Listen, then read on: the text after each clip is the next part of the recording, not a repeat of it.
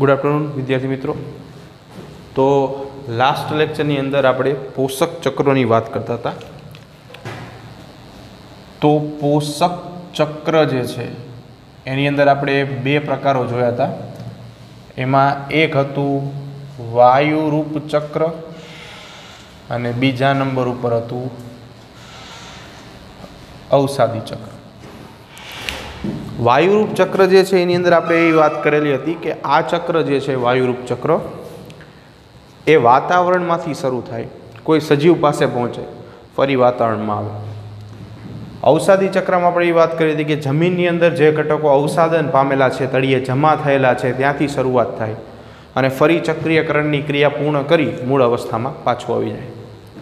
તો ઉદાહરણ પણ આપણે જોયેલા હતા, વાયુરૂપ ચક્રની અંદર આપણે કાર્બન ચક્ર અને નાઇટ્રોજન ચક્ર જોયું હતું. અવસાદી ચક્રની અંદર આપણે સલ્ફર ચક્ર અને ફોસ્ફરસ ચક્ર જોયું હતું. તો એની અંદરથી જ તે આપણે એક પહેલાં વાયુરૂપ ચક્રનું ઉદાહરણ જોવાનું છે, જે છે કાર્બન ચક્ર. એટલે અહીંયા આપણે વાત કરી છીએ કાર્બન ચક્રની, કે જે એક વાયુરૂપ ચક્રનું ઉદાહરણ છે. તો હવે આપણે બધા જાણીએ છીએ કે કાર્બન જે છે એ વાતાવરણની અંદર પણ આવેલ છે. આના સિવાય બીજી એક વાત એવી છે કે ઝીરો પોઈન્ટ ઝીરો ત્રણ ટકા વાતાવરણમાં કાર્બન છે. કાર્બન ચક્ર જે છે એમાં આપણે બે ક્રિયાઓ જે છે એનો સમાવેશ કરવાનો છે. પ્રથમ ક્રિયા એવી છે કે જેની અંદરથી સજીવો જે છે એ વાતાવરણમાંથી કાર્બન ડાયોક્સાઇડ પોતાના ઉપયોગ માટે લેશે.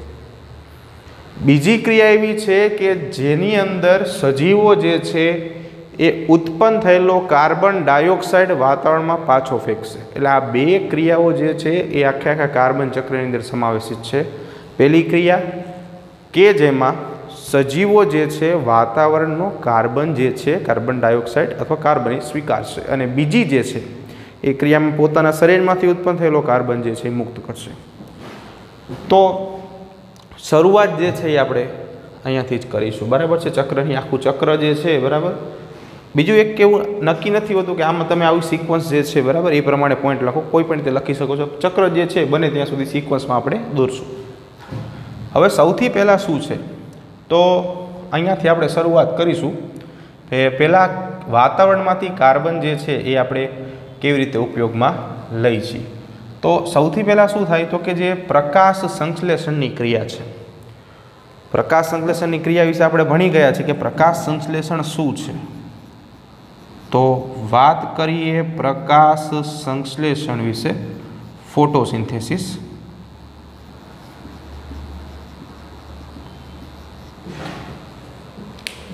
આ પ્રક્રિયા એવી એક પ્રક્રિયા છે કે જેની અંદર વનસ્પતિ, બરાબર છે?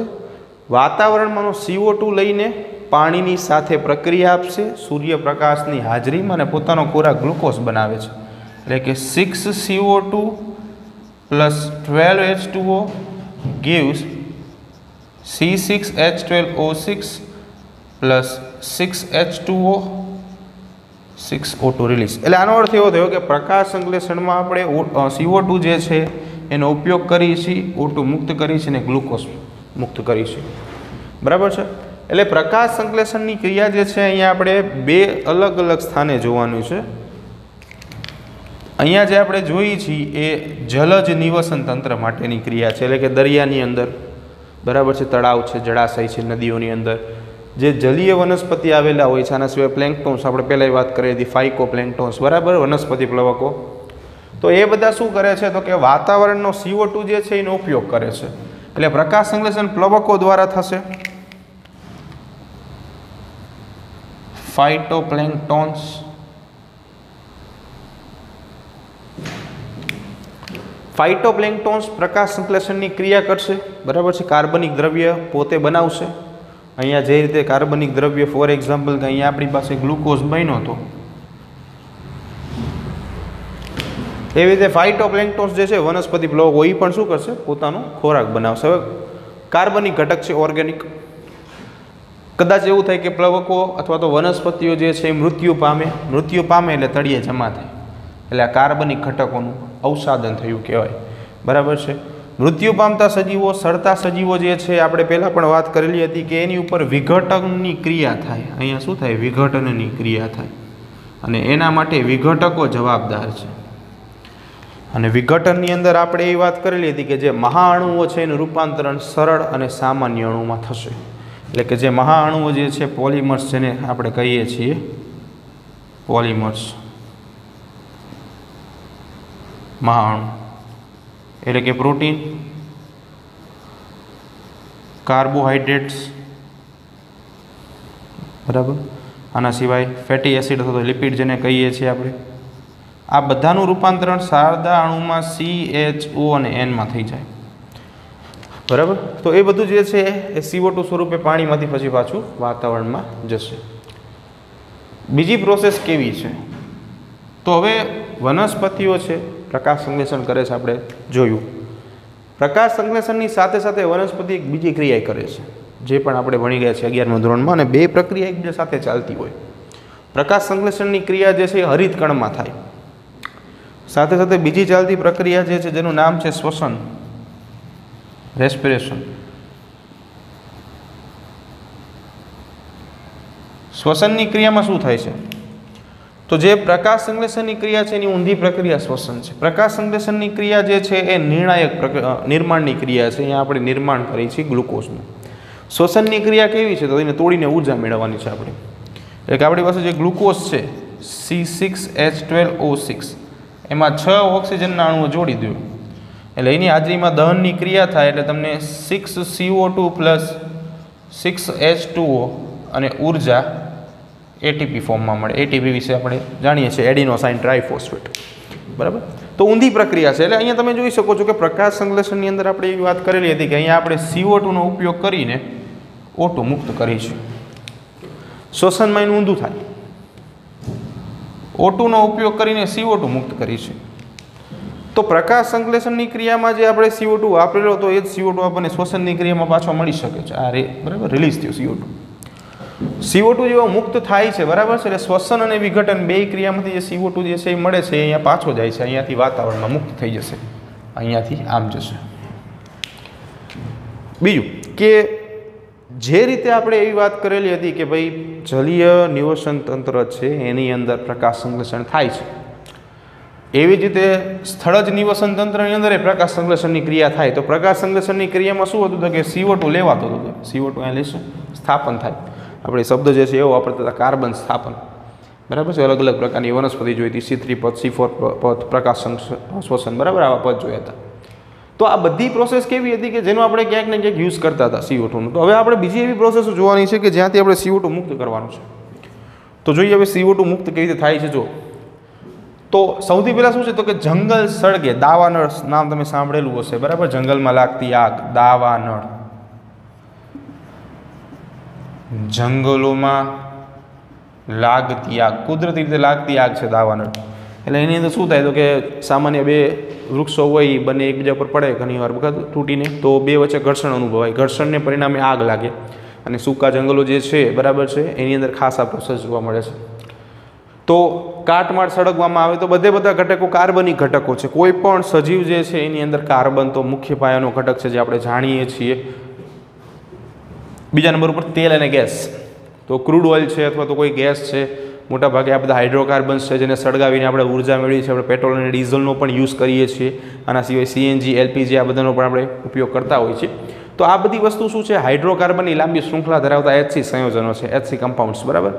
તો આ બધાને જ્યારે સળગાવશો એટલે એમાંથી કાર્બન તો જનરેટ થવાનો જ છે, ઉત્પન્ન થશે, એટલે એ કાર્બન જે છે સીધો સીધો ક્યાં જશે? વાતાવરણની અંદર જશે.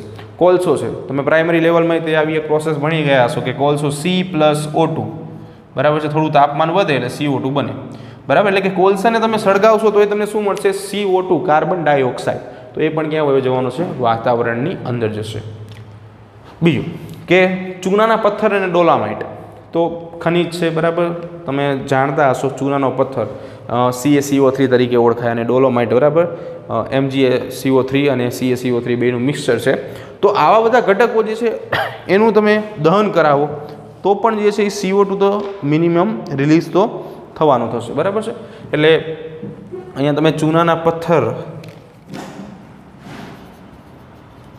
ચૂનાનો પથ્થર, કેલ્શિયમ કાર્બોનેટ સીએસીઓ થ્રી અને dolomite. CACO three dot MG CO three ઘણા અન્ય સાહિત્યમાં આમ પણ આપેલું હશે. CA into MG CO three twice બરાબર? પણ બે એક જ છે, આપણે એક જ રાખીએ. એટલે આમનું તમે દહન કરાવો. ફોર એક્ઝામ્પલ કે હું સીએ સીઓ થ્રીનું દહન કરાવી દઉં છું અને બીજા નંબર ઉપર સીએ સીઓ થ્રી અને એમજી સીઓ થ્રીનું દહન કરાવી દઉં છું. તો સીએ સીઓ થ્રી જે છે એનું દહન કરાવો એટલે મળે તમને સીએઓ અને સીઓ ટુ અને અહીંયા દહન કરાવો એટલે મળે સીએઓ એમજીઓ અને બે સીઓ ટુના અણુઓ. તો સીઓ ટુ તો રિલીઝ થવાનો જ છે, વાયુ સ્વરૂપમાં છે એટલે સીધે સીધો વાતાવરણમાં જશે. બરાબર છે? પ્રોસેસ આવી રીતે થાય છે. સાથે સાથે વાહન છે, એના ધુમાડામાંથી પણ કાર્બન મોનોક્સાઇડ નીકળે છે, એનું રૂપાંતર પણ કાર્બન ડાયોક્સાઇડમાં થાય છે, વીજળી અને ઉર્જાના દહન, બરાબર? વીજળી માટે જે તમે ઉર્જાનું દહન કરાવો છો ફોર એક્ઝામ્પલ કે થર્મલ પાવર સ્ટેશન છે, તાપ વિદ્યુત મથકો જેને આપણે કહીએ છીએ. તો ત્યાં શું કરીએ છીએ આપણે? કોલસો જે છે એને સળગાવી છીએ, એમાંથી જે વરાળ ઉત્પન્ન થાય છે, એની મદદથી સ્ટીમ ટર્બાઇન ફેરવી છે સ્ટીમ ટર્બાઇન કે જે વરાળથી ચાલતું ટર્બાઇન છે, આ ટર્બાઇન જે છે, ઝડપથી ફરે. તો ટર્બાઇન ફરવાને પરિણામે શું થાય? તો કે ટર્બાઇન ફરે એટલે જે યાંત્રિક ઊર્જા જે છે એનું રૂપાંતરણ વિદ્યુત ઉર્જામાં થાય અને આપણને ઇલેક્ટ્રિસિટી મળે છે. તો એના માટે પણ આપણે શું કરીએ છીએ? એને સળગાવી છે એટલે બધા ઘટકો જે છે ક્યાં જશે? વાતાવરણની અંદર જશે. એટલે વાતાવરણની અંદર કાર્બન ડાયોક્સાઇડનું જે પ્રમાણ છે એ જળવાઈ રહેશે કેમ કે આટલા બધા સ્ત્રોતો છે જેની મદદથી વાતાવરણમાં કાર્બન ડાયોક્સાઇડ જાય છે. અને આ બધા સ્ત્રોતો એવા છે કે જે કાર્બન ડાયોક્સાઇડનો વાતાવરણમાંથી ઉપયોગ કરે છે. બરાબર છે? તો આ વાત હતી આખી આપણી કાર્બન ચક્રની.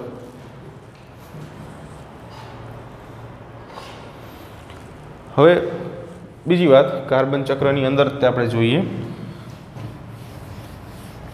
અહીંયા થોડી જગ્યા છે, તો અહીંયા આપણે જગ્યાનો ઉપયોગ કરી લઈ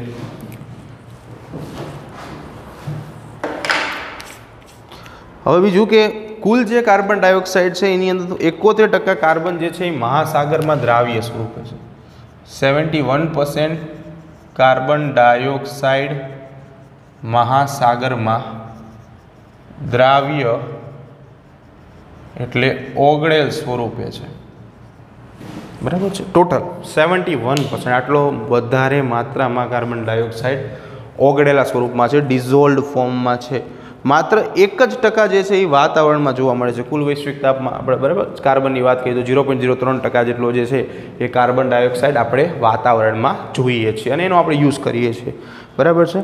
બીજું કે અશ્મિ બળતણની વાત કરીએ આપણે, તો અશ્મિ બળતણ પણ શું છે? જો આ શબ્દ છે અશ્મિ બળતણ. અશ્મિ બળતણ શું છે? તો જુઓ, આ બધા પેટ્રોલિયમ ઘટકો છે, ખનિજ ઓઇલ છે, આ બધી વસ્તુ જે છે અશ્મિ બળતણમાં આવે. વર્ષો પહેલાં એવું કહેવામાં આવતું હતું કે પૃથ્વી ઉપર જંગલો હતા, બહુ જ મોટી માત્રામાં. જંગલોમાં વૃક્ષો હતા, ઘણા બધા સજીવો, બરાબર, પ્રાણીઓ હતા. આ બધા એકાએક કોઈ ભૂસ્ખલનની ક્રિયા, કુદરતી પ્રક્રિયાને પરિણામે બધા જમીનની અંદર દટાઈ ગયા. જમીનમાં આ બધા દટાઈ ગયા, પછી શું થયું? તો કે પૃથ્વીના પેટાળની અંદર આ બધા ઘટકો ઉપર દબાણ સર્જાણું અને એની ગરમીને કારણે આ બધાનું રૂપાંતરણ થઈ ગયું. અને એને પરિણામે બધા અશ્મિ બળતણો બન્યા હોય એવું માનવામાં આવે છે એટલે આ પણ એક પ્રકારના કાર્બનિક ઘટકો જ છે એટલે આને જ્યારે પણ સળગાવવામાં આવે એટલે શું કરે છે? કાર્બન જે છે એને મુક્ત કરે છે. તમે વાહનની અંદર ઈંધણ તરીકે પેટ્રોલ કે ડીઝલ નાખો છો, તો એનું પણ દહન થાય છે અને એનું દહન થવાને પરિણામે ઘટકો જે છે સાયલેન્સરમાંથી ધુમાડો જે છે નીકળે જ છે આપણે. તો એની અંદર પણ કાર્બનિક ઘટકો જે છે એની માત્રા તમને જોવા મળે છે. બરાબર છે? હવે બીજી એક વાત કે પ્રકાશ સંશ્લેષણ ઉપર વાત કરીએ આપણે કે પ્રકાશ સંશ્લેષણ જે છે એ વાર્ષિક ચાર ગુણ્યા દસની તેર કિલોગ્રામ જેટલા કાર્બનનું સ્થાપન કરે છે.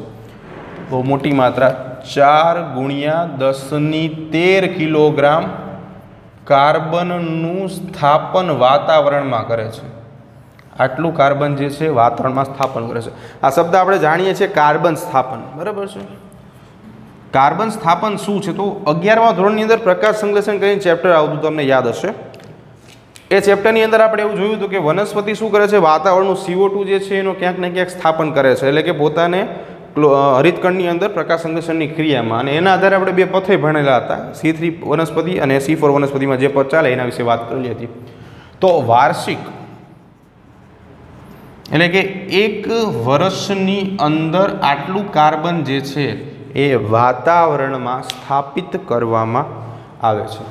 બરાબર છે? બીજું કે આના સિવાય કેટલીક ક્રિયાવિધિઓ પણ થતી હોય છે? કયા કયા એવા ઘટકો છે કે જેની મદદથી આપણે સીઓ ટુ જે છે એની મુક્તિ કરી શકાય? એટલે વાતાવરણમાં આપણે મુક્ત કરી શકાય. તો લાકડા સળગાવવા. લાકડા સળગાવવા. બરાબર છે, જંગલની આગ.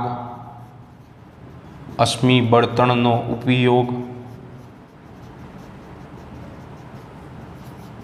આ બધા એવા કેટલાક પોઈન્ટ્સ છે કે જેની મદદથી આપણે વાતાવરણમાં સીઓ ટુમાં વધારો કરી શકાય છે. બરાબર છે?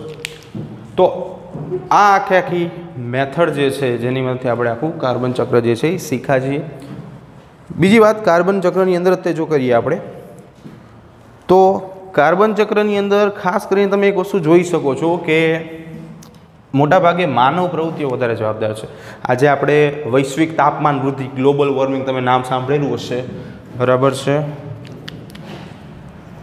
વૈશ્વિક તાપમાન વૃદ્ધિ, ગ્લોબલ વોર્મિંગ કહેવાય આને અંગ્રેજીમાં. તો આ શું દર્શાવે છે? આ એવું દર્શાવે છે કે વૈશ્વિક એટલે વિશ્વની અંદર તાપમાન જે છે સરેરાશ તાપમાન એ વધતું જાય છે દિવસે ને દિવસે. દર વર્ષે તાપમાનનો જે છે વધારો જોવા મળે જ છે આપણને, બરાબર છે? તમે ન્યૂઝપેપર વાંચતા હોય તો એની અંદર તે રેડ એલર્ટ ઓરેન્જ એલર્ટ બરાબર છે? ઉનાળામાં જાહેર કરતા હોય છે અમુક સિટીને તો આ બધું શું છે? આ બધું ખાલી એવું દર્શાવે છે કે દિવસે ને દિવસે કાર્બન ડાયોક્સાઇડનું પ્રમાણ વધે છે. એનું કારણ શું છે? તો એનું કારણ એવું છે કે દિવસે ને દિવસે આપણે વધુને વધુ ઉર્જાની જરૂરિયાત પડે છે. દિવસે ને દિવસે આપણે વધુને વધુ ક્રૂડ ઓઇલનો યુઝ કરીએ છીએ દિવસે ને દિવસે આપણે જૂના જે વૃક્ષો છે એને કાપીએ છીએ, જંગલોને કાપીએ છીએ, વૃક્ષોનો ઉપયોગ કરીએ છીએ પ્લસમાં આપણે વૃક્ષો ઉગાડતા નથી. તો આ બધી માનવ પ્રવૃત્તિને કારણે શું થાય છે? દિવસે ને દિવસે જે સીઓ ટુની માત્રા છે વાતાવરણમાં વધે છે. આ સીઓ ટુની માત્રા વાતાવરણમાં વધવાને પરિણામે ગરમી જે છે એ વધે છે, જેને આપણે કહીશું વૈશ્વિક તાપમાન વૃદ્ધિ, ગ્લોબલ વોર્મિંગ. બરાબર છે? તો જે રીતે આપણે આ કાર્બન ચક્ર જોયું છે, આવું નવું એક બીજું ચક્ર જે છે, જેનો આપણે અભ્યાસ કરવાનો છે, ફોસ્ફરસ ચક્ર છે, જે એક ઔષાદી ચક્ર જે છે એનું ઉદાહરણ છે. તો હવે આપણે જોઈએ ફોસ્ફરસ ચક્ર, ઔષાદી ચક્રની વાત કરીએ આપણે, ચાલો. બીજું જે એક ચક્ર જે છે, જેના વિશે આપણે અભ્યાસ કરવાનો છે, ઔષાદી ચક્રની વાત કરશું આપણે. તો હવે વાત કરીએ આપણે અન્ય એક પોષક ચક્રની ઔષાદી ચક્ર. અને એની અંદર આપણે જોવાનું છે ફોસ ફરસ ચક્ર. અવસાદી ચક્ર વિશે તમે માહિતગાર છો. આપણે આગળ પણ વાત કરેલી છે કે ભાઈ જમીનની અંદરથી ઘટકો જે છે, બરાબર છે, એ વાતાવરણમાં જાય ને વાતાવરણમાંથી ફરી પાછા જમીનની અંદર જાય. એટલે આમાં જે પ્રાણીઓ છે, એનો ખાસ અગત્યનો રોલ છે. તો ફોસ્ફરસ ચક્રનો અભ્યાસ કરતાં પહેલાં આપણે થોડીક એવી વાત કરી લઈએ કે ફોસ્ફરસ ક્યાં ઉપયોગી છે. તો પહેલાં આપણે જોઈએ ફોસ્ફરસની કેટલીક ઉપયોગિતા. તો ફોસ્ફરસની ઉપયોગિતા. ફરસની ઉપયોગિતા. ક્યાં ક્યાં ફોસ્ફરસ જે છે એ ઉપયોગી છે, બરાબર? આપણે જનરલી સજીવની વાત કરવાની છે, એટલે અહીંયા આપણે બાયોલોજિકલ મેથડથી બાયોલોજિકલ પોઈન્ટ ઓફ વ્યૂથી જોશું કે ફોસ્ફરસ ક્યાં ઉપયોગી છે, બરાબર? કેમેસ્ટ્રીને અહીંયા વચ્ચે લાવશું નહીં, બરાબર? બાકી તો ઘણી ઉપયોગિતા જે છે એ ફોસ્ફરસની છે. તો ફોસ્ફરસ જે છે, એ જૈવિક પટલોમાં ન્યુક્લિક એસિડ અને કોષીય ઉર્જામાં અગત્યનો ઘટક છે. જૈવિક પટલ બરાબર છે, આના સિવાય ન્યુક્લિક એસિડ અને ઉર્જાના ઘટકો. પહેલાં ત્રણને જોઈએ. ઉપયોગિતા તો ઘણી છે. આપણે હજી આગળ જોશું કે દાંત અને હાડકાં પણ ફોસ્ફરસની અંદર બનેલા છે. બરાબર? ફોસ્ફરસમાં બનેલા છે. તો દાંત અને હાડકાના બંધારણમાં પણ ક્યાંક ને ક્યાંક ફોસ્ફરસ છે જે આપણે જોશું હમણાં કે ક્યાં ક્યાં છે. બરાબર છે? આના સિવાય પ્રાણીના કેટલાક કવચ પણ આના બનેલા છે.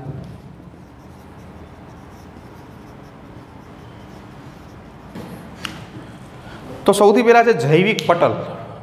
હવે અગિયારમા ધોરણમાં આપણે ચેપ્ટર ભણી ગયા છીએ, આઠમા નંબરનું કોષ જીવનનો એકમ. એની અંદર આપણે એ વાત કરી હતી કે જે પ્રાણી કોષ છે, એ પ્રાણી કોષની અંદર કોષરસ પટલ છે. ફરતેની બાજુ તો જે આ કોષરસ પટલ છે, એ પ્રોટીન અને લિપિડનું બનેલું હોય, જેને આપણે લિપો પ્રોટીન કહેતા હતા. સાથે સાથે ઘણી વખત અમુક જે જૈવ પટલો છે, એની અંદર ફોસ્ફોલિપિડ મેઇન કન્ટેન હોય. અમુક જે જૈવિક પટલો જે છે, એ ફોસ્ફોલિપિડના બનેલા છે. એટલે કે આમાં લિપિડ અને ફોસ્ફરસ બે હાજર છે, એટલે આપણે ફોસ્ફોલિપિડ કહીશું. બરાબર છે? તો એની અંદર ફોસ્ફરસ હાજર છે. સેકન્ડ પોઈન્ટ ઉપર ન્યુક્લિક એસિડ. ન્યુક્લિક એસિડ વિશે આપણે જાણીએ છીએ કે ભાઈ ન્યુક્લિયસ બે શબ્દોનું બનેલું છે. ન્યુક્લિક એસિડ, ન્યુક્લિયસ એટલે કે કોષ કેન્દ્ર અને એસિડ એટલે કે એસિડિક દ્રવ્ય. એટલે કે કોષ કેન્દ્રની અંદર આવેલું એસિડિક દ્રવ્ય. ન્યુક્લિયસ એટલે કોષ કેન્દ્ર. અને એસિડ, એટલે એસિડિક દ્રવ્ય.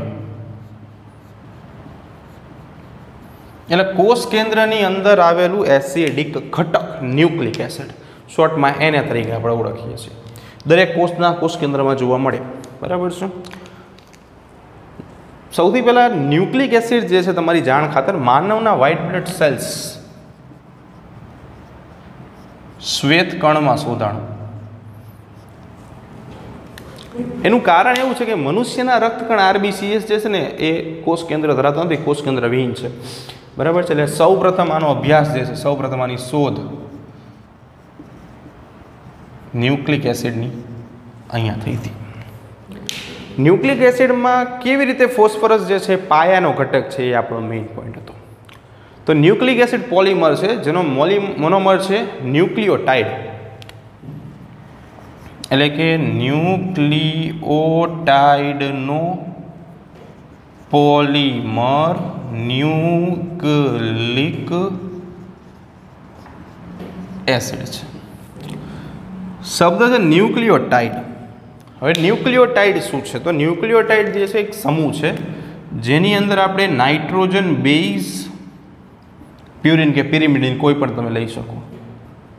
પ્લસ પેન્ટોઝ શર્કરા અને પ્લસ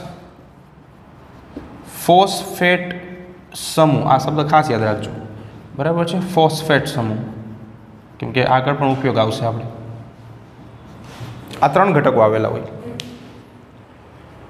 ન્યુક્લિક એસિડના આ ત્રણ ઘટકો સંયુક્ત રીતે ન્યુક્લિયોટાઇડ તરીકે ઓળખાય. બીજી એક અગત્યની વાત એવી છે કે ન્યુક્લિક એસિડ એસિડિક છે એનું કારણ જો તમને પ્રશ્ન થાય કે ભાઈ અહીંયા બેઝ છે, એસિડ તો ક્યાંય આવતો નથી. તો આને એસિડિક કેમ કીધું આપણે? તો એનું કારણ એવું છે કે આ ભલે બેઝ હોય, પણ આના કારણે ન્યુક્લિક એસિડ જે છે એસિડિક છે. તો પ્રશ્ન થાય કે ફોસ્ફેટ સમૂહના કારણે કેવી રીતે એસિડિક છે? તો શબ્દ સમજો પહેલાં કે આ ફોસ્ફેટ સમૂહની જે ઉત્પત્તિ જે રહી ને, એ ફોસ્ફોરિક એસિડમાંથી થાય છે.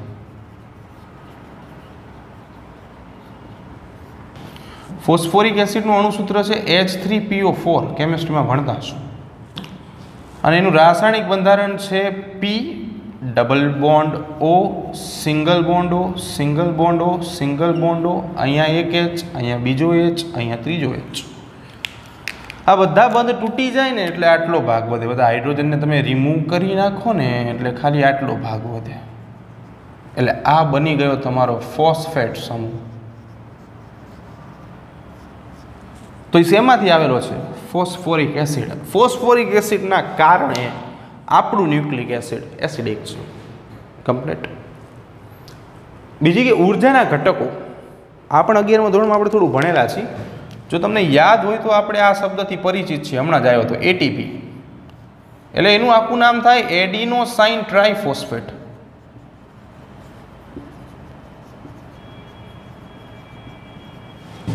આ છેલ્લો શબ્દ લઈ લ્યો ટ્રાય ફોસ્ફેટ ત્રણ ફોસ્ફેટના સમૂહ જે છે, એ જોડાય આમાં. એડિનો બરાબર? એડેનિન નાઇટ્રોજન બેઝ પણ આમાં જોવા મળશે એટીપીના બંધારણમાં.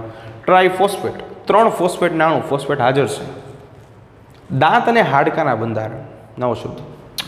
તો દાંત, હાડકા અને કવચા જો બધાની વાત કરીએ તો દાંતનું જો તમને ખબર હોય તો મુખ્ય ઘટક છે કેલ્શિયમ ફોસ્ફેટ.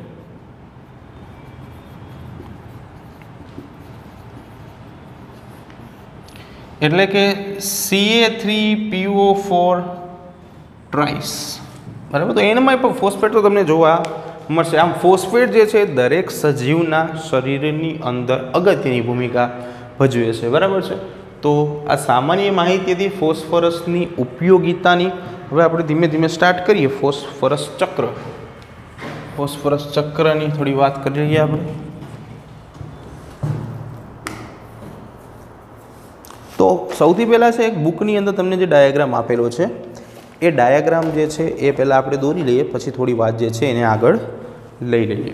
તો ડાયાગ્રામ જે છે, એ તમને આ મુજબ આપેલો છે અહીંયા આપણે ખૂણામાં ડાયાગ્રામ દોરી લઈએ કે સૌથી પહેલાં નીચેની બાજુએ તમને ખડક ખનીજ આવી રીતે લખાણ આપ્યું છે. પછી થોડે ઉપર જાઓ. જો પોઈન્ટ્સ ઉપર આપણે જવાનું છે કે કઈ રીતે આપણે આગળ વધવાનું છે, તો એ ખડક ખનીજ છે થોડા ઉપર જાઓ. એટલે ભૂમિય દ્રાવણ છે. થોડા ઉપર જાઓ તો તમે ભૂમિય દ્રાવણમાંથી જોશો ને તો તમને એક આવો પણ એરો મળશે. અહીંયાથી થોડેક આગળ જાય છે. ઉપર સીધું નથી જતું. આડો જાય છે. અને એ આડો એરો જે છે ને, એ આમ સીધે સીધું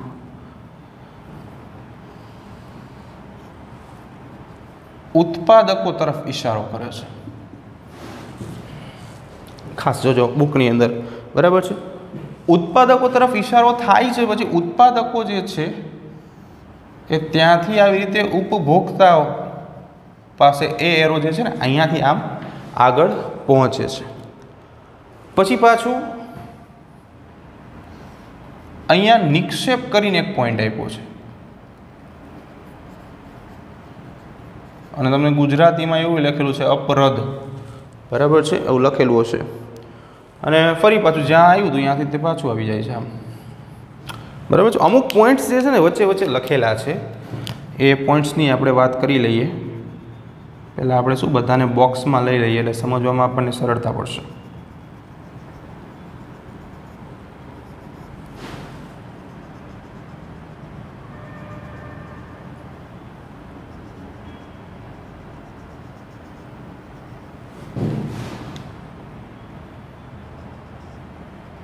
તો આ જે પાથવે છે, આ જે રસ્તો છે, બરાબર? એની ઉપરથી તે આપણે બધું જે છે, એ સમજવાનું છે અને ધીમે ધીમે આપણે આગળ વધવાનું છે. તો અહીંયા એક પ્રોસેસ છે, અપશયન. અહીંયા એક પ્રોસેસનું નામ લખેલું હશે, નિરંતર વહન. બધું બુકની અંદર આપેલું છે, બરાબર છે? આમાં થોડુંક આપણે જે છે ચેન્જ કરશું. બરાબર છે? આમ કહીને આમ નિરંતર વહન લખેલું છે અને અહીંયા આવી રીતે આમ ગ્રહણ જે છે એ લખેલું હશે. બરાબર છે? પછી કે એક આવો પણ પોઈન્ટ હશે કે ઉત્પાદકો જે છે એ આવી રીતે દર્શાવેલ. આકૃતિ થોડી હું અલગ દોરું છું મારા જેવી, પણ તમે બુકનો જે ચાર્ટ છે એને પણ કન્સિડર કરી શકો છો. બરાબર છે? એમાં કોઈ વાંધો નથી. અહીંયા છે કચરો પડવો. હવે જો શાંતિથી જોઈએ આપણે. રસ્તો હું તમને પહેલેથી જ કહી દઉં છું કે આપણે ચાર્ટમાં કેવી રીતે આગળ વધવાનું છે, તો આપણે આ દિશામાં આવી રીતે આગળ વધવાનું છે. પણ આપણે ધીમે ધીમે જોતા જઈએ. બરાબર છે? હું તમને નંબર્સ આપી દઉં છું. એ જ દિશામાં આપણે ફોકસ કરશું. એ બી સી ડી આપશું આપણે. એટલે એ અહીંયાથી આવશું બી અહીંયાથી આવશું સી અહીંયાથી આવશું ડી સિક્વન્સ મેન્ટેન રાખવાનું છે. ઘણી વખત શું થાય કે આ ચાર્ટ જે છે એને જોતાં જ આપણને એમ થાય કે આમાં શું કરવું? પણ ચિંતા કરવા જેવી કોઈ વાત નથી હોતી. થોડોક રસ્તો જે છે આપણે શોધવાનો હોય છે. સૌથી પહેલાં આપણે વાત કરીએ ફોસ્ફરસ જે છે. જો હવે જ્યારે પણ કોઈ અવસાદી ચક્ર હોય ને, તો એનો કોઈ સ્ત્રોત હોય. અવસાદન એટલે તળિયે જમા થવું, તો ક્યાંક તો જમા થશે ને. તો સૌથી પહેલાં જે ફોસ્ફરસ ચક્ર છે, એનો સ્ત્રોત શું છે? જો, તો ફોસ્ફરસ ચક્ર જે છે, એનો મુખ્ય સ્ત્રોત જે છે, એ ખડક ખનિજ છે.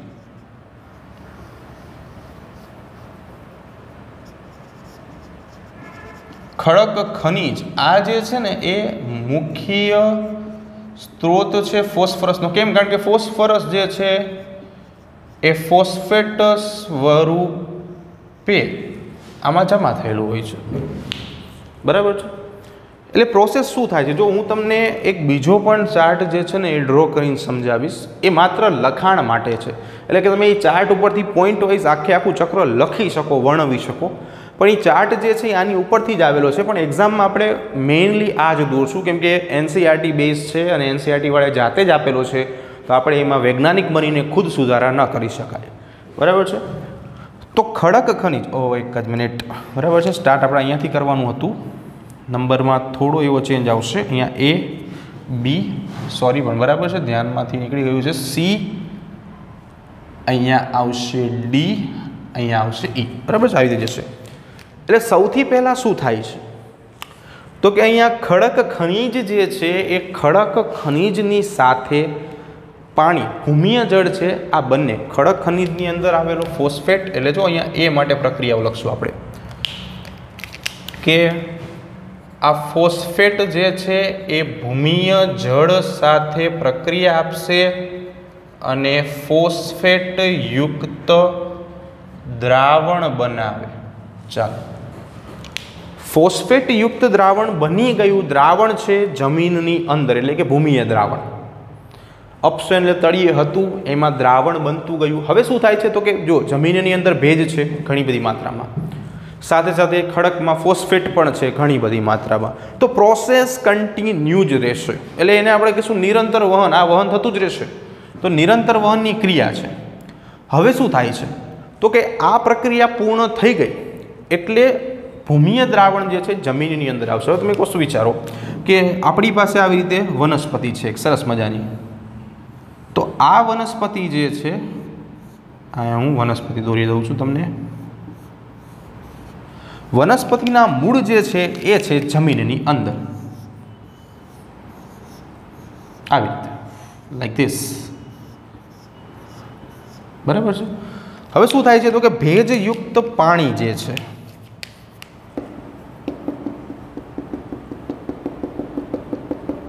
આ ભેજયુક્ત પાણી. હવે શું થાય તો કે મૂળ જે છે એનો ગુણધર્મ છે કે જમીનમાંથી પાણી જે છે એને શોષી વનસ્પતિના વિવિધ અને જરૂરિયાતવાળા ભાગો સુધી પહોંચાડવું. બરાબર છે? તો મૂળ પોતાનું જ કામ કરશે. શું કરશે? પાણી શોષશે. પણ આપણે આગળ પણ ભણી ગયા છીએ કે પાણી એકલું શોષાતું નથી, ખનિજ આયનો પાણીમાં ઓગળે છે બંને ભેગા મળીને ખનિજ આયનયુક્ત દ્રાવણ બનાવે છે અને આ દ્રાવણ મૂળ દ્વારા શોષવામાં આવે છે. તો મૂળ શું કરશે? તો કે જે અહીંયા દ્રાવણ બનેલું છે, બરાબર છે? જે ફોસ્ફેટ યુક્ત દ્રાવણ બન્યું છે પીઓ ફોર માઇનસ થ્રી યુક્ત દ્રાવણ. આને શોષી ઉપરની બાજુ પહોંચાડશે. બરાબર? જરૂરિયાતવાળા ભાગ સુધી. એટલે એનો અર્થ એવો થયો કે ગ્રહણ ગ્રહણ કોણ કરે છે? ગ્રહણનો અર્થ અહીંયા આપણે સ્વીકારવું લેશું ઉત્પાદકો.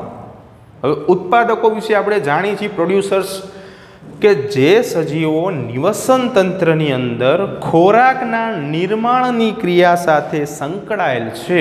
એને આપણે કહીશું ઉત્પાદકો. ઓકે તો ગ્રહણની ક્રિયા થાય. ગ્રહણની ક્રિયા થઈ, ઉત્પાદકો જે છે, આ જ દ્રાવણ જે છે, એનું ગ્રહણ કરશે.